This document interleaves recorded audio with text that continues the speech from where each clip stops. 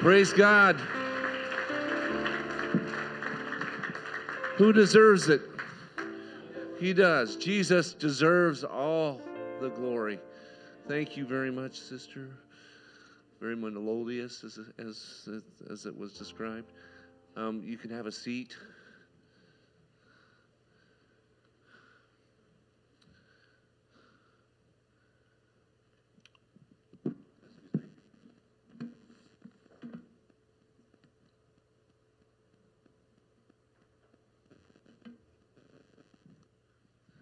Recognized me this time. Last time it didn't, so I guess God didn't want me to talk about that. But today, I, I, I feel I feel like a confirmation, right? confirmation. So, let me just talk about the God of love, what I call the God of the universe. It says in uh, 1 Corinthians chapter 13, if I speak in tongues of men and angels, but do not have love, I'm only a resounding gong, a changing cymbal. In other words, I'm just making noise. If I have a gift of prophecy, I can't fathom all the mysteries and all the knowledge. And if I have faith to move mountains, but I don't have love, it's nothing.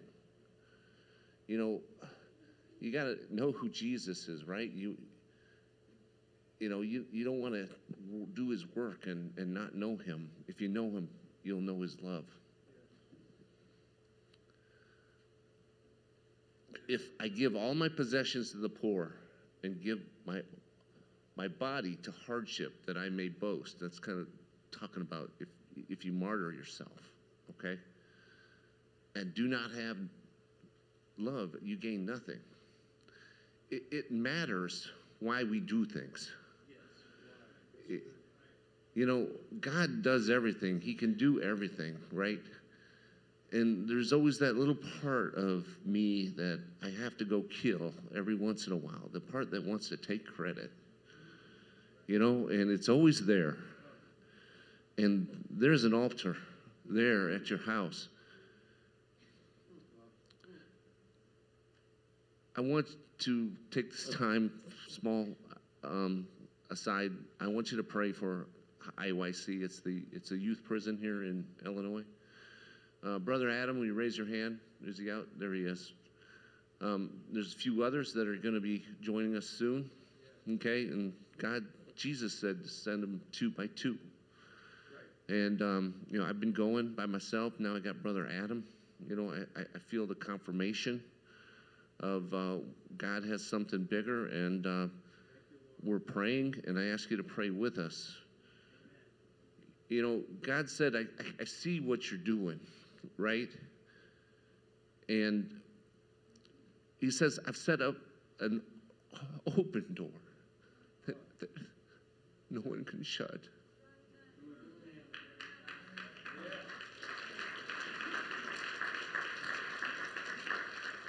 He also said, I really feel that, especially these last couple months, I have so little power. Yet if I can keep his word, and I don't deny his name. We'll do what the Lord asks, right? And he'll go before us because he has all power. We have no power. Brother Manley talked about, you know, what is God? Everything. We, we must decrease, he must increase. When this happens, we'll recognize that we, we, we actually are He's carrying us. He's carrying us from place to place. So, you know, when I when I pray for IYC, you know, I, you know, in Matthew it talks about asking and it shall be given. Right? Knock and it shall be opened unto you. For everyone that asketh receiveth, and, and he that seeketh findeth, and him that knocketh shall be. That means that we need to ask, right? It goes well beyond saying there is a God. There go, goes well beyond saying that I believe in God, right? It, it, it's time to say, I, I, trust God. I'm going to do what He says. This is faith, right? And there's a second part to it. Where are you putting your hope? You know, I have walked through this life, and, you know, there's been some detours, I'll admit. But, you know, I knew where my hope is. There's that narrow road, that's the, the wide road. Which one are you on? You know, if you're on that wide road and you know and you know baptism, you know the Holy Ghost, you're always looking, right? You're always looking back. Well, guess what? Your father's calling you. Come back. The narrow road. Walk in it. I'll walk with you. So, love never stops, right? It extends beyond the gifts of prophecy, which eventually fade away. It's more enduring than tongues, which will one day fall silent. Love remains long after words of knowledge and, uh, and uh, are forgotten. God's love transforms for their salvation in the name of Jesus, right? For He can transform. The heart, He can transform the heart. He can give us a new spirit, right? Are we walking in fear? Well, God's not going to give you a spirit of fear. Let's exchange that fear for His spirit, a spirit of love, a spirit of power, and sound mind. Love never fails. Love is Jesus. Jesus is love. We are commanded to love the God with all our heart, soul, mind, and strength, and love our neighbors as ourselves. God told us that, right? He told us what to love and not to love. We are not we are to love God, we're not to love the world. For what agreement? What agreement does the temple of God have with idols? You are the temple of God. All right, let's go cherish that temple. Let's cherish that place where, where God lives in us. Church, I love you. God bless you.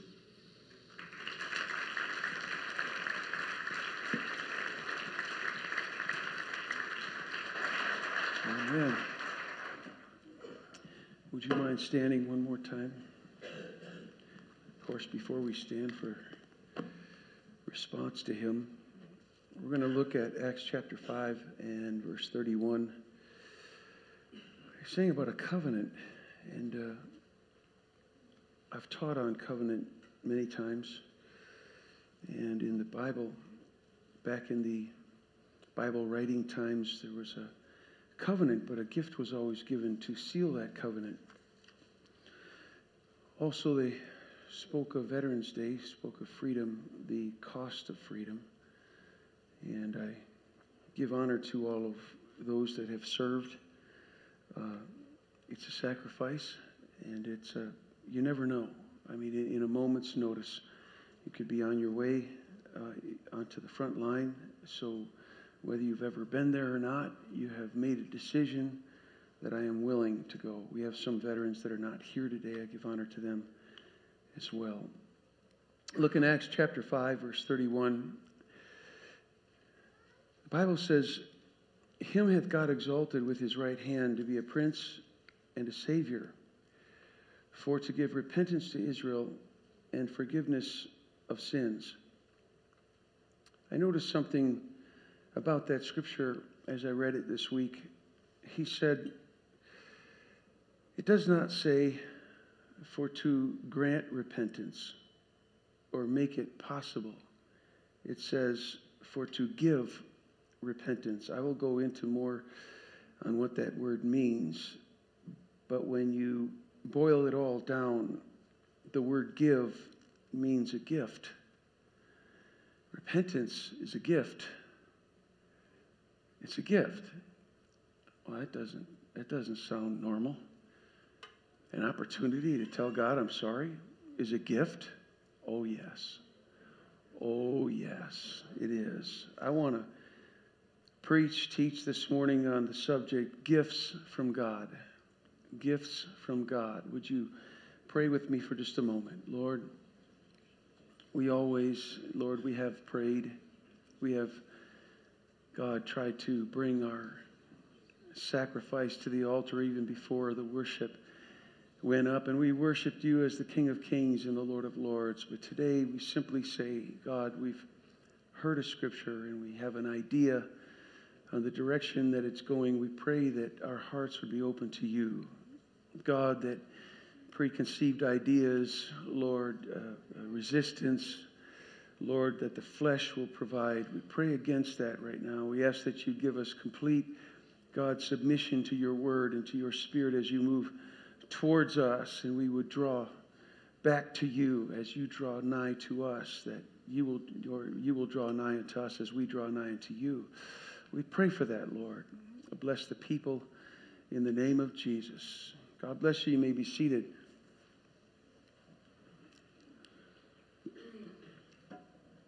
So God said that that he would give repentance.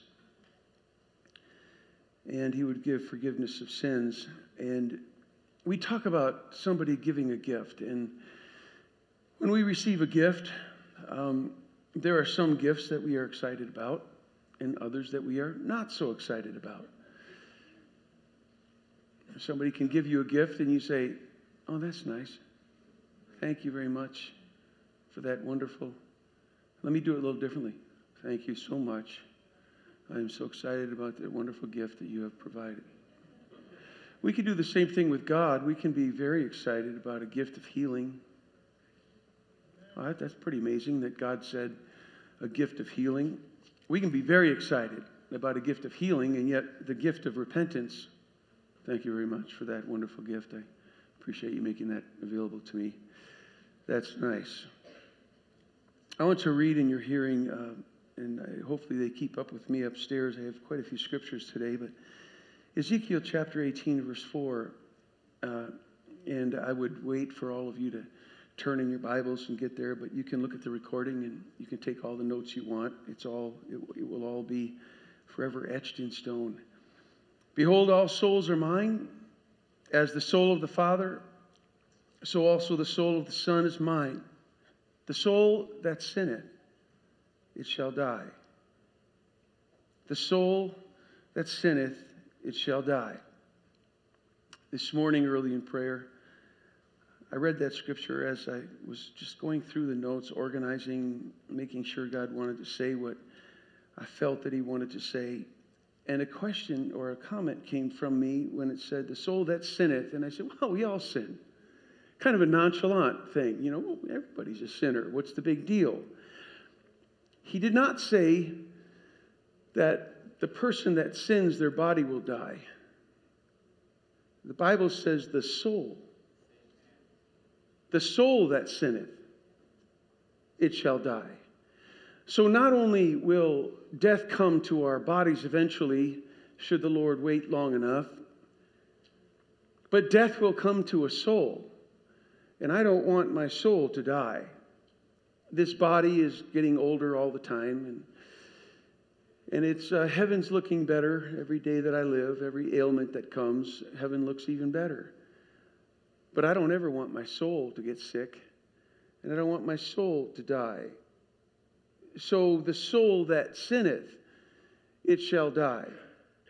In 1 Corinthians chapter 6 verse 9, the Bible says, "Know ye not that Wait a minute, in 1 Corinthians, he's writing this to the church.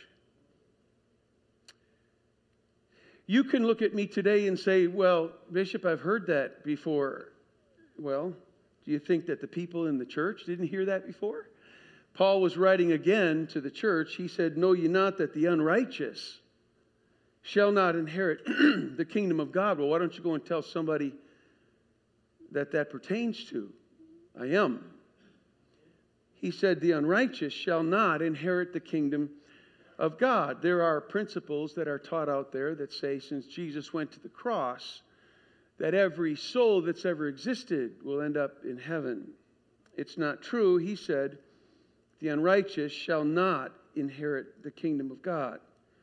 Okay, you're getting my attention. Can we move on? Yes. We can move on to the next scripture in Romans chapter 3, verse 10.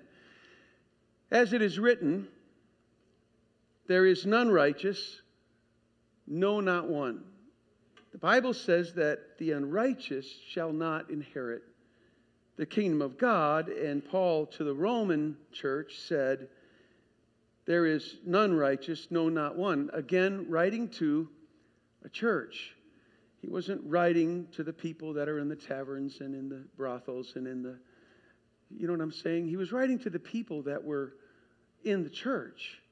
And he said, There is none righteous. So, people that are sitting under the sound of my voice today in a church building where the church resides, there is none righteous, no, not one.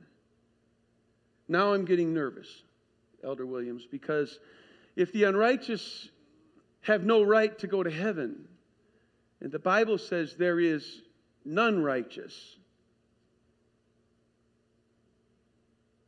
you have my attention. And in Romans 3:23, just a few scriptures later, the Bible says, "For all, everyone say all. all. Say that's me. I didn't mean me, I mean you. That's, say, For all have sinned and come short of the glory of God. That means every one of us are sinners and are unrighteous. So, to summarize what I've read so far, is simply the fact that we are sinners. Sinners will spend eternity in hell. Man, am I glad I came to church today. I'm so encouraged.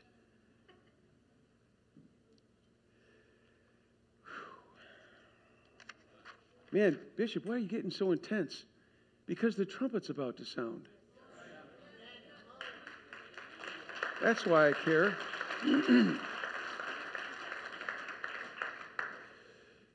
And God is going to ask me to give an account for every one of you.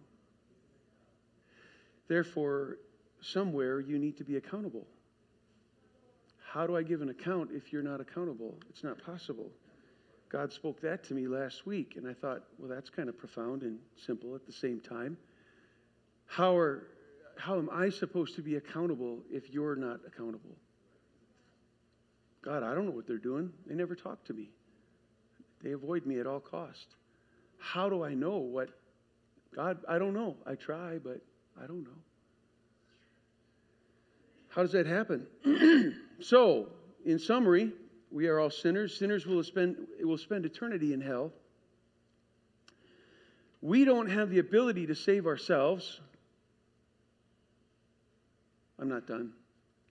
Save yourselves from this untrue. I know, I know. You save yourselves by obeying God and submitting to God and letting in, in obeying the gospel. So without God, we can't uh, save ourselves, and without God, we can't uh, unless we obey. So, based upon the five or six scriptures that I've already read, we have a major problem. We have a major problem. Hell is forever, so is heaven. Hell is torment, heaven is bliss joy, freedom. I know that the Bible says God sets before us life and death. Choose life, so we do get to make a choice. Where does that choice come in? So I'm talking about, I'm just beginning to talk about repentance. We'll see where the Lord leads me today. But since we have a major problem, yeah, but I'm saved. Not yet, you're not. Do you feel saved from this world? I mean, I get born again of water and spirit, and I'm saved from my old sin if I keep repenting. But if you're saved, you're not tempted anymore. I'm not there yet. I'm not in heaven yet. He's in the process. He saves us from the past sins through baptism. He saves us from current sin through the power of the Holy Ghost, but He will save us from future by the rapture of the church by taking us out of here and removing us from the even ability to be to sin. So there are three, at least three phases. At least three. I want that last one. I I don't want pain. I don't want temptation anymore. I don't want anger. I don't want tripping. I don't want failure. I want to be saved from all of that. That hasn't happened to me yet. If you have, if it's happened to you, please see me after church and tell me how that happened because I would love to jump into that pool. but it hasn't happened to me yet. So if we have a major problem, the question comes what shall we do? Well, I've heard that before. Peter began to preach to the Jews on the day of Pentecost and talk to them about their sin and their failure, their major failure of crucifying the Messiah. And they hollered out. I heard it this morning around the altar. I need your help. Please help me. They said, Men and brethren, what shall we do? We have a problem. We prayed for the Messiah. We know we needed the Messiah because the current, the old covenant, would never be sufficient. It's not even possible to walk in that covenant. It's impossible for man to do that. We need a Messiah. Please come. And he came and they killed him. And when it was brought to their attention that they killed him, they said, um, Do we have any options? wow, I messed that one up. what shall we do? And in Acts 2:37, that's where they ask the question. Peter's resounding answer comes back and he says, "Repent." Whew, I'm glad there's an I'm glad there was an answer. I'm glad Peter didn't say, "I have no idea." Man, you guys killed him.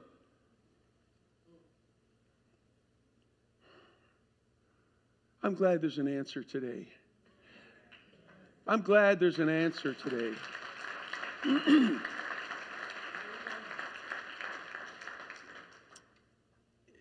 At about three o'clock this morning, I don't know about you, man, there are times that I can't sleep. I got up and I said, All right, I'm just going to go ahead and pray. And as I was praying, God said, when I, when I made the comment, we have a major problem. If you were on death row, you would have a major problem. There's a major problem. It's just a matter of days, weeks, months, but the inevitable. The inevitable is that you're going to pay for what you did. It's like having the sin in our lives and being a sinner and not being able to save ourselves is like being on death row. But as you're on death row, somebody comes walking down the hallway. Hey, buddy, Got something for you. It's right here.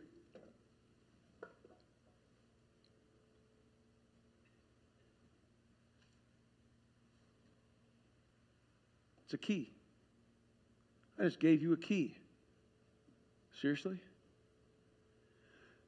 Yeah. I was given a key. The key gets me out of the cell, but not out of the building. That's what God said to me this morning. We can repent, and there are many people that jump up and down and say, Yea, I have a key. And repentance grants forgiveness from God when we repent, but it gets us out of the cell of unforgiveness. And we are forgiven, but you still, you, you can get out of that cell and you can stand in the hallway and look, and guess what you're going to see? More bars you're going to see bars and you're going to see security guards and you're going to and you're going to be like, "Well, I'm out of my cell, but I'm not out of the building." But without that key, we're going to die. That's why Jesus said, "Except you repent, you shall likewise perish." If we don't if you don't get out of the cell, if every other door was opened in that building, you'd still be stuck in the cell on death row. But repentance gets you out into the hallway but you got to have it. But it doesn't set you free. It doesn't get you out of the building, but it gets you out of the cell. It's the beginning, but it's still important and it's absolutely necessary. If they busted open every other door in that building and you were stuck in that cell, you're still not free. Praise God. Or you're stuck in that hallway, I should say. The rest of the keys get us out of the building. But to lose a key is to lose our freedom. There are people that have been made aware of all the keys that God makes aware, makes, uh, makes available in His Word. He gives us. He said to Peter, Unto Peter, I give you the more than one. There's not just one key to get you to heaven. The Bible says there are keys. Peter, what are those keys? What are those plural keys that get us out of the cell, out of the hallway, out of the room, into the free atmosphere? What is it, Peter? First of all, let's look at the dictionary for repent. It means to feel or express sincere regret or remorse about one's wrongdoing or sin. That's what Webster says about repentance. But since Webster didn't write the Bible, let's move on. True Christian repentance involves a heartfelt conviction of sin, a contrition over the offense to God. I feel bad about what I did to myself, to others, that was wrong in God's eyes. It's a turning away from the sinful way of life and a turning towards a God honoring way of life. That's what repentance really is. The world has given a misconstrued conception of what repentance really is. They simply say, Please repeat after me. Wow. That's not here, that's here. My heart doesn't repeat after some, my my mind repeats after somebody, but my heart, when my heart is affected, it opens up and it says, God, Please help me. I'm lost and I want to be found. I sin and I don't want to. I'm lost. I'm going to hell, but I don't want to go. Please, please rescue me from this body of sin. I don't want to be in jail for the rest of eternity. If I ever pray with you, please don't repeat after me. I'm simply trying to help you understand what mode, what phase we're in as we reach out to God. But in Proverbs chapter 28, verse 13, it says, He that covereth his sins shall not prosper. I'm going to live a sinful life and I don't want anybody to know. It says, You will not prosper, but whoso con- confess it and forsake it. Lord, I am a sinner. Please forgive me if we have to confess it to Him. Lord, I don't deserve heaven. I don't deserve the favor and blessings of God. I don't deserve that at all. I know that everything that I have done in my life would never qualify, or anything I could ever do would qualify me completely for heaven. But disobedience wouldn't qualify me either. So help me to be as obedient as I can. Help me to shed the sinful things in my life by adding the power of your spirit, by, by loosing myself from the record of sin and the evil and corruption that I grew up with, God. And help me to turn toward you and run to you and say, please empower me to live for you. Empower me to make right decisions. That's that's repentance. That's a desire to be more like Him and to loose ourselves from the things of the past. But He said, Whoso confesseth and forsaketh them shall have mercy. He didn't say, if we just say, I'm sorry I got caught, please forgive me, let me come to heaven. But I'm still going to keep doing the things that I've always done. He said, You don't get mercy. Everyone in this room has a need to repent. Sometimes we sin of ignorance. There are times I came in the church and, and all of a sudden I'd be like, well, I, I don't, I haven't murdered anybody and, and I, you know, haven't done this and haven't done that. Praise God. And all of a sudden someone preaches and I go, I hope nobody's looking at me because, man, I feel guilty.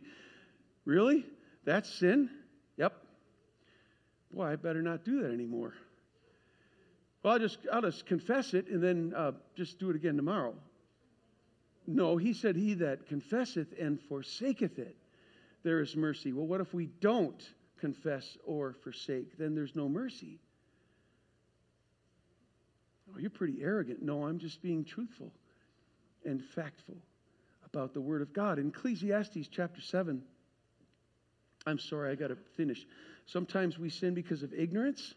I just don't know. I didn't know about it. Sometimes because of our weaknesses. Lord, I, I'm trying. Look at Paul. I know I'm supposed to do this and I don't. And I know I'm not supposed to do this, but I do. Who's going to help me? And you wrote half the New Testament? We're all in the same boat. There are things that we know we're not supposed to do and we do them. And there are things that we're supposed to do and we don't. Here's the key somewhere along the line, we need to make progress. Somewhere along the line, we need to be able to put a line in the sand and say, Nope, I'm moving on. And I'm going to do, I'm going to live for God. And I'm going to, this is going to be the exception to the rule, but I'm going to live for God. Things need to change in our life. If we don't forsake sin, there's no mercy. But there are other times that we sin because of willful disobedience. I don't care if he lights himself on fire. I'm not doing what he says. Willful disobedience can come. Ecclesiastes 7. There is not just a just man upon the earth that doeth good and sinneth not. Not one. Jesus hadn't come to the earth yet, so no, not one. There was one, but he's not here anymore in the flesh. But there isn't any. 1 John 1 8, if we say that we have no sin, we deceive ourselves and the truth is not in us. If we say we have no sin, we're lying. And now there's sin in us. So, what is sin? The simple, the simple answer is missing the mark. That's really what it means. So, if we miss the mark, okay, well, I missed the mark. Well, I'm going to probably miss it again tomorrow. And I'll probably miss it again. And it was told not, not too long ago that if I'm shooting at a target, I just did this the other day. I'm a deer hunter.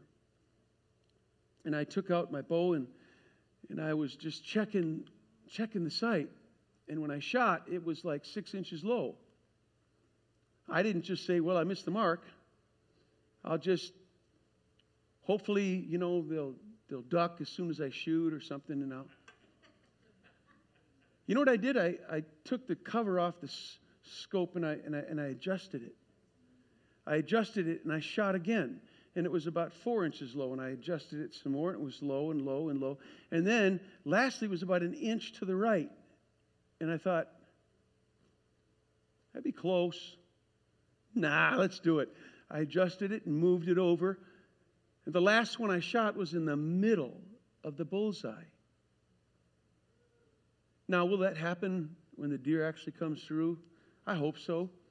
Not always. But I've done everything I can do to adjust, to practice, and to adjust my sight to make sure that I don't miss the mark. This is what the Bible is talking about. He doesn't expect us to be perfect, but when we take a shot and, and we're six inches low, He expects us to get out our screwdriver or Allen wrench and adjust and, and, make some adjustments in our life so that we can get closer to the bullseye. And we keep trying and we keep trying. Hey, I did better today, but that requires us to forsake the way it used to be. But I, have never heard that called sin before. Well, get used to it because we're getting close to the rapture. The Bible says that the bride will have no spot, no blemish. He said, no wrinkle. God said, I'm coming for a bride that is pure and white. God said, when I come to that door and the trumpet sounds and, and that door opens and I look at you, if everything's not in place, you're not going with me. And that's why the intensity. And I'm not mad and I'm not preaching against any one sin, and I probably won't mention any. But the point is, if we if something goes wrong in our life, or we begin to hear the word of God and, and we go, you know, that kind of sounded, I heard something this just yesterday or day before yesterday. Prophet Shelton was preaching, and I'm like, hmm. Boy, I'm glad I don't do that. Have you ever heard that? somebody preaches, somebody preaches and they mention something, and you're like, man, that was close, but I'm glad I don't do that. And Pastor Jan said that one time he had, there was somebody sitting in the congregation and they were stealing ducks. And the guy preached against stealing geese, and he said, that was close. I'm, man, I'm glad. Man, I'm glad I don't steal geese. Get out your Allen wrench start adjusting. Oh, God. Jesus' name. Sin, James 4:17. To him that knoweth to do good, so we know that sin is to miss the mark. To, to him that knoweth to do good and doeth it not. He said, To him it is sin. He literally put a label on. You want to know what sin is? It's when you know you're supposed to do something and you don't. Man, you didn't say stealing ducks. If you know you're supposed to do something and you don't, that's sin. Oh, man, I'm tired. What a list. We missed his mark. And we say, oh, well, I was close. No. Be sincere. God, I don't want to go to hell. I want to go to heaven. And I want other people around me to go. Help me not make allowances and say, well, you know, those other two arrows were pretty close, but this one was way off. Come on, let's make adjustments. Let's, let's bring things together. Let's do what we have to do to make sure that we begin hitting the bullseye Maybe not every time, but most of the time. God, I keep trying. I'm going to keep practicing and I'm going to get this right. 1 John 5:17 says, "All unrighteousness is sin." What is unrighteousness? I know the first one that I read says that if we know we're supposed to do something and we don't, that's sin. Well, I don't need to interpret that one. But all unrighteousness is sin. And there is, so he said, unrighteousness. All right, what is unrighteousness? Adikia is the Greek word for it, and it means legal injustice, moral wrongfulness of character, life, or action. Iniquity, which means we follow our own will instead of God's. It's unjust and it's wrong. That's what unrighteous means. He said those things, wrong, moral wrongfulness, it's just a white lie. Moral wrongfulness of character, life, or act. That's what unrighteousness. And he said all of that is sin. 1 John 3 4 Whosoever committeth sin transgresseth also the law, for sin is the transgression of the law. If there's something we're supposed to do and we don't, that's sin. Unrighteousness is sin. Sin is a transgression of, well, what is a transgression of the law? Word transgression is anomia, which is a condition of, it, it's the condition of without law. I don't want laws. I don't want the law to tell me what to do. I'm going to remove law. For, I, I'm not subject to the Word of God. It even says in Thayer's definition of the word transgression. It says, even because of ignorance to it. We can be ignorant to something, and he said, it's still transgression. Are you kidding me? That's why he said, study to show thyself approved unto God. Why do you have to study? To find out what transgression is. We need to find out what iniquity is. We need to find out what those things. Brother Jans looked at me one day and he said, What is what is law? What is transgression? What is judgment? What is, and he gave me all, and to, to understand, those are like in two scriptures, they're all listed. And I said, he said, what's the difference? I said, I don't know. He said, you best find out. And he said, I'm going to ask you again next week what it is. Of course, I went and studied all that and found out what it was and came back and reported to him.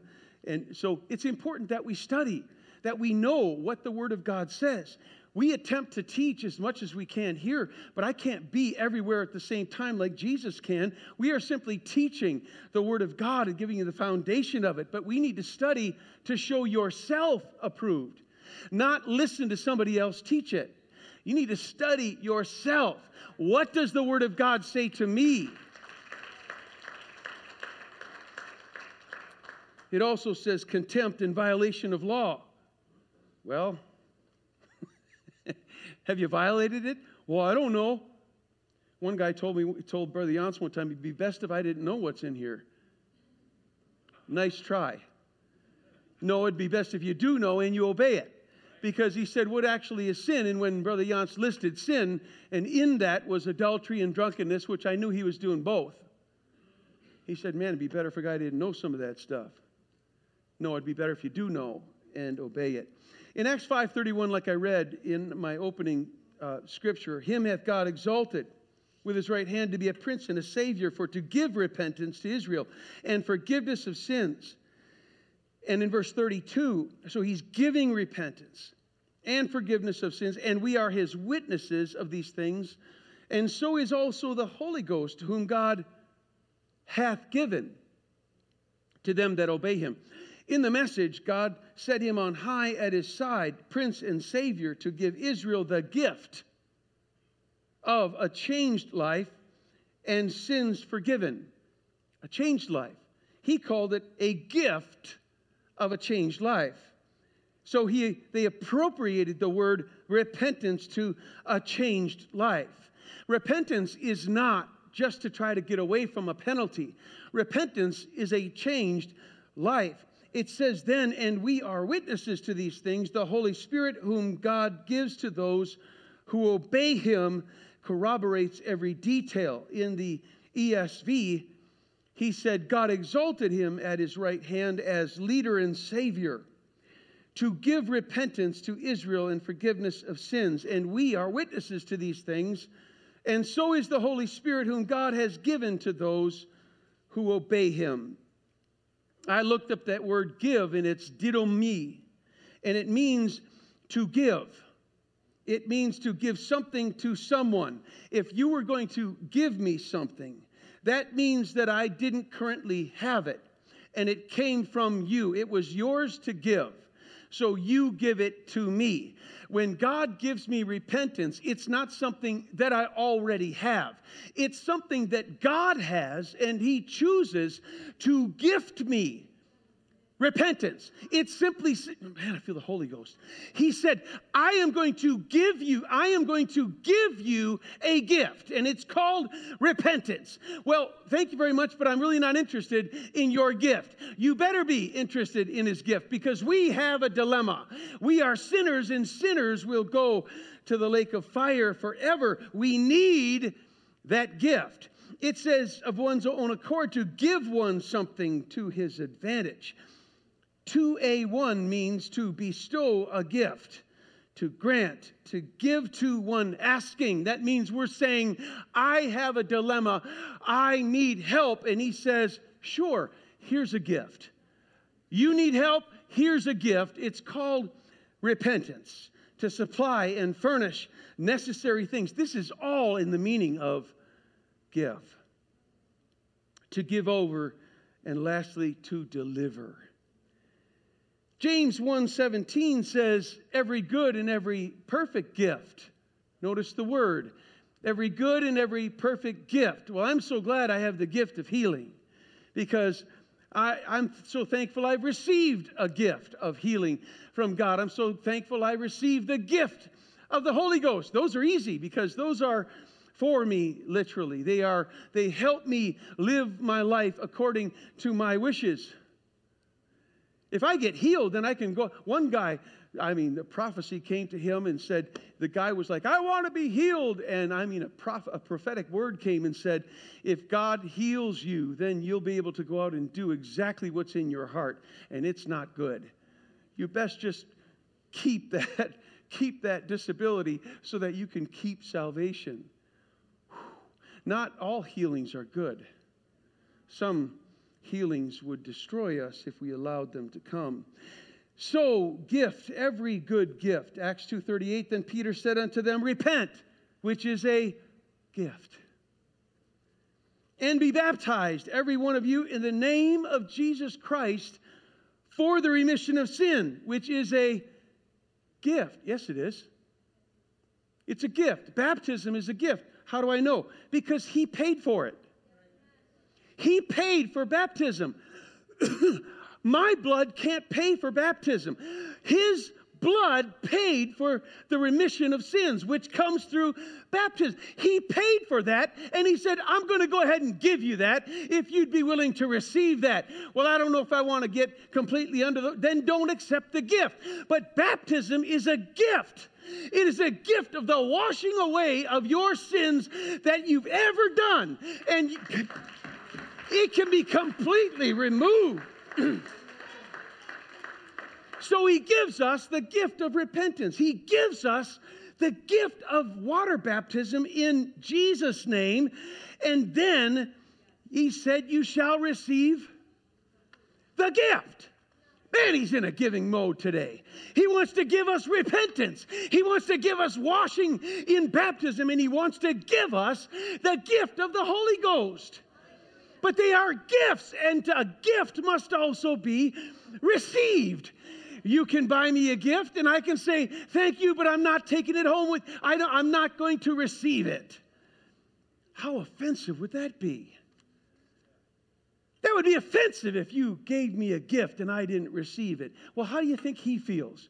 When he said, You need innocent, perfect blood to pay for your sins. So I'm going to go and ask Mary if I could borrow her womb for nine months to create a fleshly body with blood so that I can grow up, in, infuse that with the Spirit of God, and take that body to the cross be just after it's tortured so that I can provide innocent blood so you can be free. Um, no thanks. Not interested. How offensive. I didn't die for you. I didn't give my life for you, although as a shepherd I would. A shepherd lays down his life for the sheep. I don't have any problem standing in the way of a wolf. I am fearless when it comes to wolves that try to come. Just ask some of you. I would lay my life down right in front of the biggest ugliest, longest toothed wolf that tries to come and take you. I will put my life in his hands and say, God, help me. If a Goliath comes along, I'm after it. And I'm going to chop that head off after I've knocked him out. I'm not afraid of any wolf, of any Goliath. I'm not afraid. Hallelujah for shall receive the gift of the Holy Ghost. I need to finish. For the promises unto you and to your children and to all that are far off, even as many as the Lord our God shall call. And then it was mentioned real briefly this morning by Brother Wara, 1 Corinthians chapter 12. Now there are diversities of gifts, gifts, but the same Spirit. God gave gifts of the Spirit. He is in a giving mode. Gave gifts of the Spirit. What does that mean? When you look at gifts, charisma, the last part of that definition is a free gift. God gives us free gifts. Why? To negotiate the realm of the Spirit, to bless the church, to edify the church. That's what he said the gifts of the Spirit are for. Not to make somebody feel more prominent than somebody else. It's simply to edify and lift and bless and provide favor to the church. But also in Ephesians chapter 4, verse 11, and he gave. Guess what word that is? Didomi, same word. God gave some apostles and some prophets, and some evangelists and some pastors and teachers. God gave spiritual leadership to the church. Same word. Man, I love receiving the Holy Ghost. Good. Same word. He gave pastors. Well, I don't need a pastor. Well, then you don't need the Holy Ghost either because it's the same word. But if you need the Holy Ghost, if you need repentance, if you need baptism in Jesus' name, you need a pastor. God gave me that this morning in prayer. He said, It's the same word. I said, I'm going to go look it up. I went and looked it up, same word. God said, I'm going to give you repentance. Well, I don't want to repent. Well, good. That's your decision. But God gave us a gift of repentance. He also gave us a pastor. And we need repentance just like we need a pastor. And if you don't like a pastor speaking into your life, you're not receiving a gift that God gave. Doesn't it say, and He gave some apostles? If you don't like the fivefold ministry, you're rejecting a gift from God. Mm. What is it for? For the perfecting, completing, equipping of the saints, for the work of the ministry, for the edifying of the body of Christ. The edifying. That's why God gave pastors, evangelists, prophets, teachers, and apostles to the church. Hebrews 13, remember them which have the rule over you, who have spoken unto you the word of God. The gift of ministry that God gave to the church, I have a pastor. Why? Because God gave me one, and I need one. It says, whose faith follow. Remember them which have the rule. Remember them. It's actually mentioned twice in Hebrews 13. Remember them which have the rule over you, who have spoken unto you the word of God. So it's not talking about God. It's talking about the person who spoke unto you the word of God, whose faith follow. We're supposed to follow their faith, considering the end of their conversation or their manner of living. living. He said, The person who speaks the word of God, you need to follow them, considering the fact that they're going to have to give an account for you. The end of their conversation. And then he said, Obey them that have the rule over you, and submit yourself, for they watch for your souls as they that must give an account. And a pastor cannot give an account if you're not accountable. We have talked about accountability forever in this church, but I just found a good scripture for it. God spoke that to me just this week. He said, People can't be, that you can't give an account of someone who won't be accountable. So if you want a pastor, which God gave you, you need to be accountable. Why am I saying that? Because I love to be a dictator and a tyrant and a. It's the last thing. Do you realize what hangs over my head? If you choose to be accountable to me, you understand what hangs over my head? I have to give an account for you. Now you know why I don't sleep a lot of nights. I worry about some. But he said, we would like to do that with joy. And he goes on to say, please pray for them. Please pray for me. carry a lot of weight. We give account unto God for you. And if I have to tell him I don't know, that's not on me, it's on you. And if I don't go to my pastor, it's not on him, it's on me. If he tells me something, I'm now responsible. That's what the Bible says.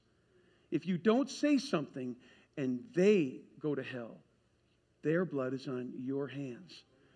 If I don't tell my pastor, if he tells me something if he doesn't tell me, then my blood is on his hands.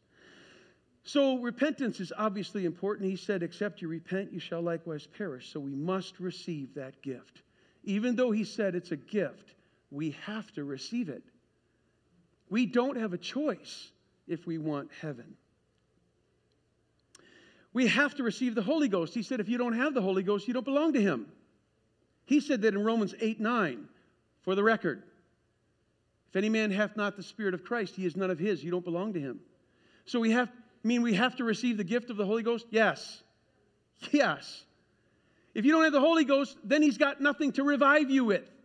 He said, if the spirit that raised up Christ from the dead dwells in you, then you got that thing that will revive you and, and, and, and give you immortality by the spirit that liveth in you.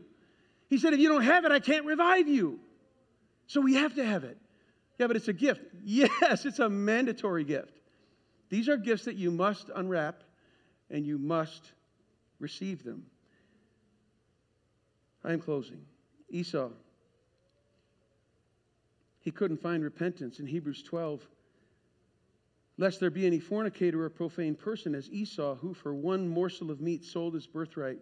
For you know how that afterward, when he would have inherited the blessing, he was rejected. For he found no place of repentance. He couldn't find it, though he sought it carefully with tears. There came a place in somebody's life where it says he wanted to repent. He found, if he couldn't find it, that means he was looking for it. So he was trying to find repentance, but he couldn't find it, even though he sought it carefully with tears, which tells me tears in itself is not repentance. It has to be more than that, because he had tears and God said, Well, he looked for it, but he couldn't find it. It has to be a change, a forsaking of sin.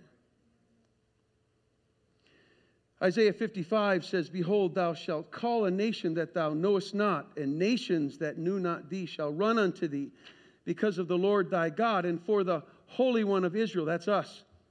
We are the nations that ran unto God. It says, For he hath glorified thee. Seek ye the Lord while he may be found. Call upon him while he's near. If he said, Seek the Lord while he may be found, Call upon him while he's near. He's near right now. Seek him while he, that means there's coming a time that he won't be found. There's coming a time when people will look for him and they won't find him.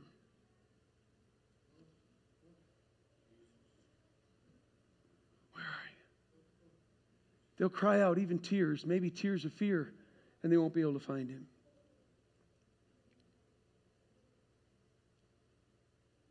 Seek him while he may be found. In Noah's day, only eight people, only eight made it out of judgment. In Sodom and Gomorrah, Four made it out of the city, but only three lived. Because someone turned around and decided that what, behind, what was behind them was more enticing to them than what was in front of them.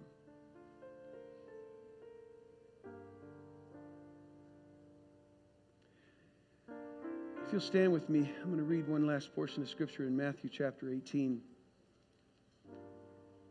Therefore is the kingdom of heaven. Jesus was explaining what heaven was like, and he said, There was a certain king which would take account of his servants, and when he had begun to reckon, one was brought unto him which owed him 10,000 talents, way more than he could afford. But for as much as he had not to pay, his Lord commanded him to be sold, and his wife and his children, and all that he had, and payment to be made. The servant, therefore, fell down and worshiped him, saying, Lord, here it is. Have patience with me, and I will pay thee all. What a foolish statement. There's no way he could come up with that kind of money. Have patience. You mean like 4,000 years? Then the Lord of that servant was moved with compassion. Here's the key we can move God to pat- compassion by our tears and our crying out. He was moved with compassion and loosed him and forgave him the debt. But the same servant went out and found one of his fellow servants, which owed him a hundred pence. And he laid hands on him and took him by the throat, saying, Pay, pay me that thou owest.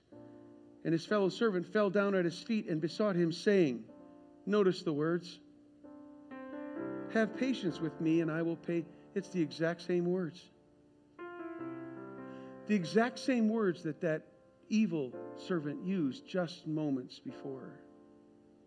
Have patience with me, and I will pay thee all. And he would not, but went and cast him into prison till he should pay the debt. So when his fellow servants saw what was done, they were very sorry and came and told unto their Lord all that was done. Then his Lord, after that he had called him, said unto him, O thou wicked servant, I forgave you all that debt because you desirest me or caused compassion. Shouldst not thou also have had compassion on thy fellow servant, even as I had pity on thee? Look at, look at, there's the key. There's the key. And his Lord was wroth and delivered him to the tormentors till he should pay all that was due him. So likewise shall my heavenly Father do also unto you if you from your hearts forgive not every one his brother their trespasses. I do believe the preaching of the past where the king removed the servant's forgiveness because the servant wouldn't forgive others. If we don't forgive, he won't forgive. I understand that. But when you look at the reason why he said it, he said,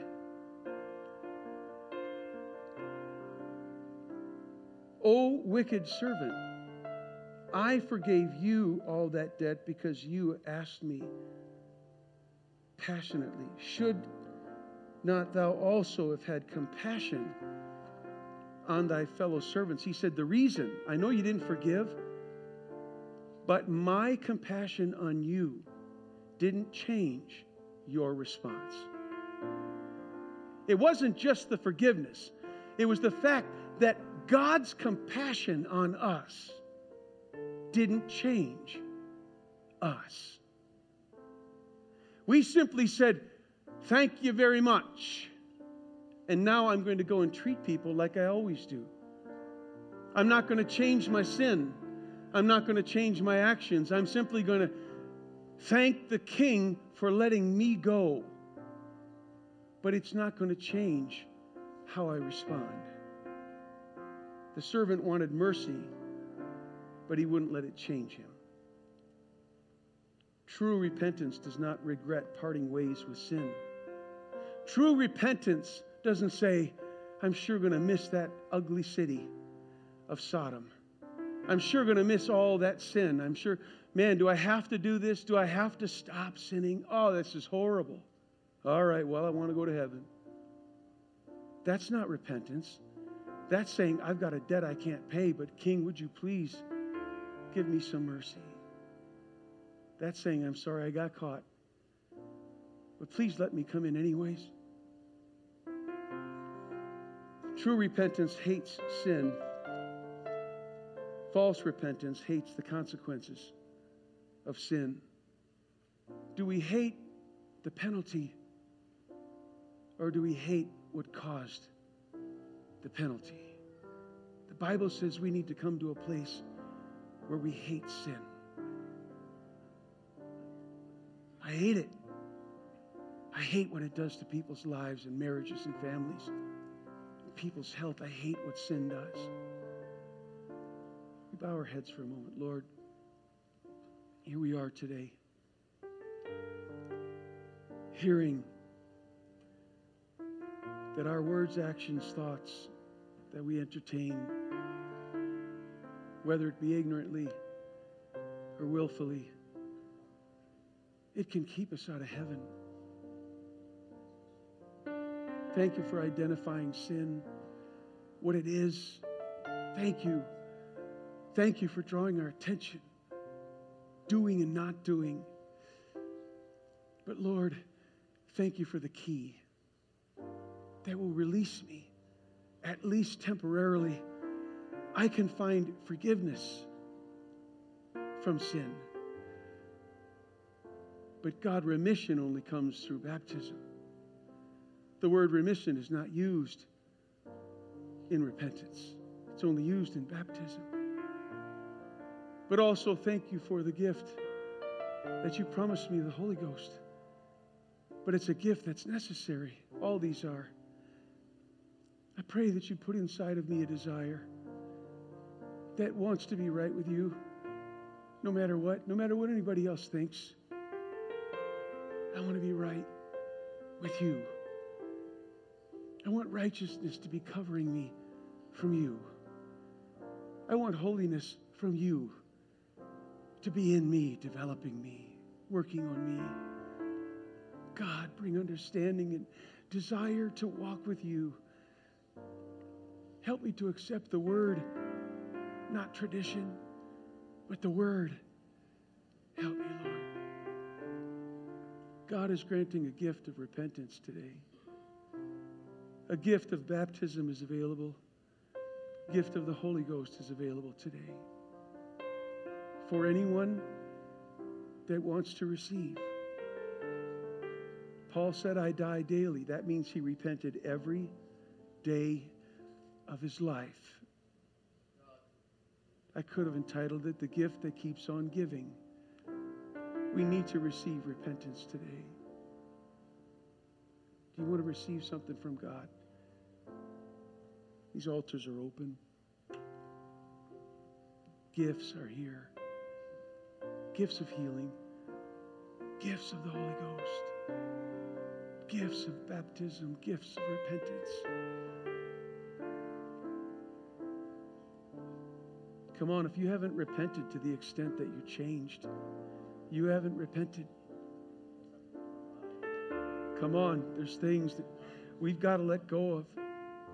If you don't repent and I don't repent, turn. I don't want to be like that anymore, God. Well, it's just who I am. That's why you need to turn. Well, it's the way I've always been. Good. Leave that alone. Put that thing in a grave. I don't want to be that way anymore, God. My way has led me away from you. God, there used to be a sincerity deep in my soul when I would hear the preaching of the word. Now it's just offensive to me. I'm just mad at the preacher again because he brought it up. It sounds like he's got a bone to pick. I just want you to go to heaven, that's all. Come on. God, if I'm not receiving the word, please give me a desire. Please give me courage to come up and say, Lord, I, I want to receive a gift from you today. Repentance, turning me away from the sin in my life, turning me unto you, preparing me. Get me in the hallway today, God. Open my cell door. Open my prison door for me, God. Notice God didn't just open Paul's prison door, He opened them all. God can do that. But Paul had all the keys. Paul had all the keys. Oh, God, don't leave me in this cell room. Help me to break free. God, I need you. Come on, that's it. I love you, Jesus. I love you, Jesus. You're coming soon, Lord. You're coming soon. We can feel it. The earth is groaning. There's a change in the spirit realm. It's getting more intense all the time. There's a disruption, God. It's not the same as always. Just more of the same. No, you're calling your bride. You're pulling her close. She's beginning to feel the soon return of her bridegroom. Help us, Lord, to prepare our minds and our hearts, our lives to receive from you, God. Come on, no matter what, we need to repent. You might, you might have repented. I repented multiple times this morning over this message. But I need to again. God, God, as David said, create in me a clean heart, O God, and renew a right spirit within me. David said, If there be any wicked way in me, that means he wasn't even sure. He thought there might be, but wasn't sure. He couldn't even name it. If there be any wicked way in me, God, grant unto me repentance. Tell me about it. Help me to repent of it, God, because I want to get it away from me. I want to separate myself. Come on, you there may be something in our life that we don't even know about, and yet we feel a bit of unrest. It would be good if we cried out. If there be any wicked ways in me, God, if there be any wicked way, God, wash it away in the blood of the Lamb. Wash it. Forgive. Forgive me, Lord. Forgive me, Lord. Forgive me. I want to be right with you. I don't want your spirit to depart and an evil spirit to come. God, I want to feel your closeness, God. I want to be right with you, God. Come on, that's it. Personal. Let your, let your talk to Him be personal. Lord, I need you. If you don't know how to pray, your heart does. There's something in your heart that's crying out. You can simply say, I need you. I don't even know if I'm saved, God. Somebody told me I was, but right now I'm not sure. Or right now I know I'm not, God. There's some things that have happened in my life. I know it's listed in that Bible somewhere, sin. God, please, please forgive me. Please forgive me. Help me, Lord, to confess that to you. You don't need to confess it to a person, just to Him. Lord, you know, you know all about yesterday or last week or last month. You know all about it, Jesus. Please, please, oh, please, please forgive me and help me to forsake it, God. Help me to turn my back. yes. Help me to turn my back on that sin and move toward you. Like I'm pressing through a crowd of flesh, God, trying to get to you. I want to be close to you. I've heard that I can be really close to you, Lord, but I don't feel really close to you. In fact, I'm having trouble finding you this morning. Help me, Lord, to feel after you.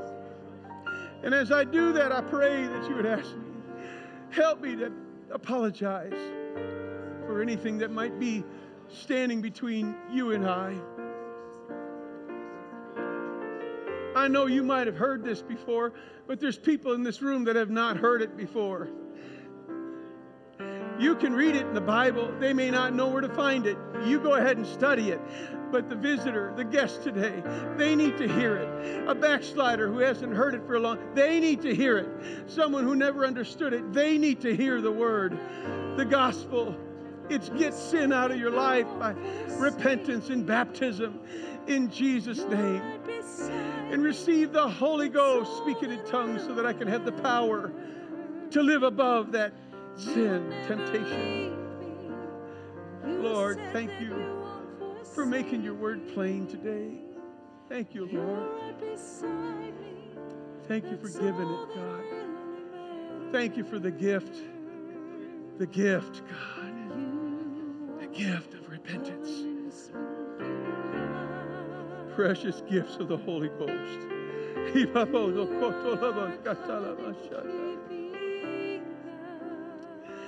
Thank you. Thank you. One day you're going to take your gift off the table.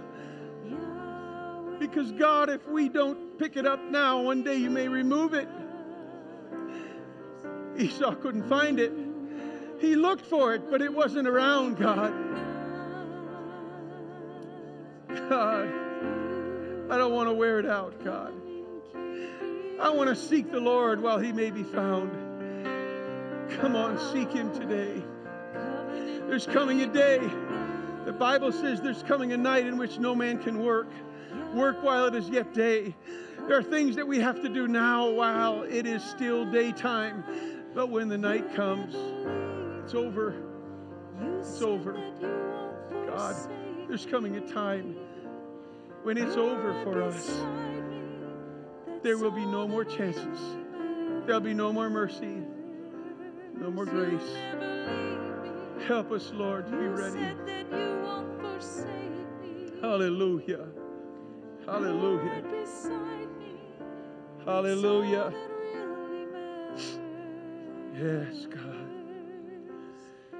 Let my heart be right with you, God. Let my heart be right with you.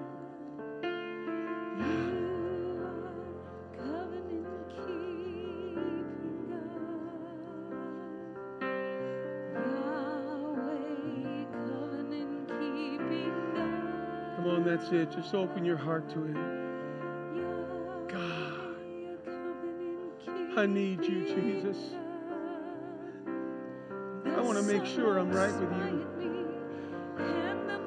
Somebody told me that my lifestyle was okay, that He died for everybody, and so I'm going to go to heaven even though I'm currently living in sin. Oh God, rebuke that lie.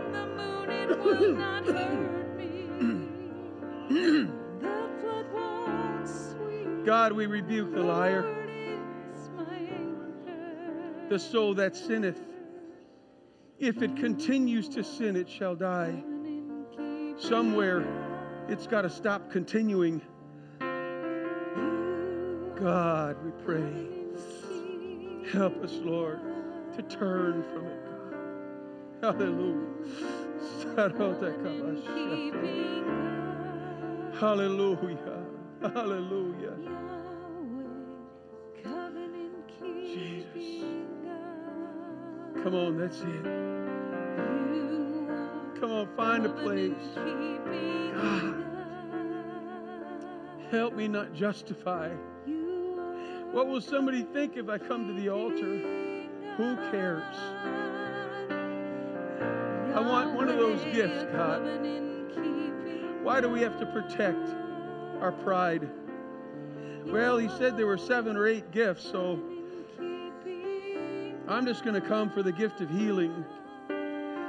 Oh, God, we want to repent every day. Hallelujah.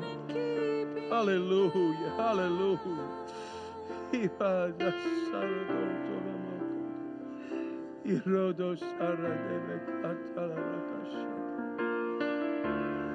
Hallelujah. Yes, God.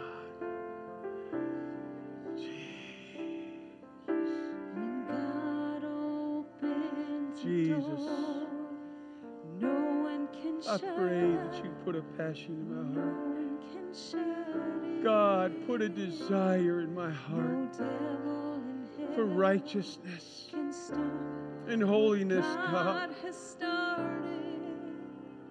Help me never justify my sin, my failures. Don't let me justify.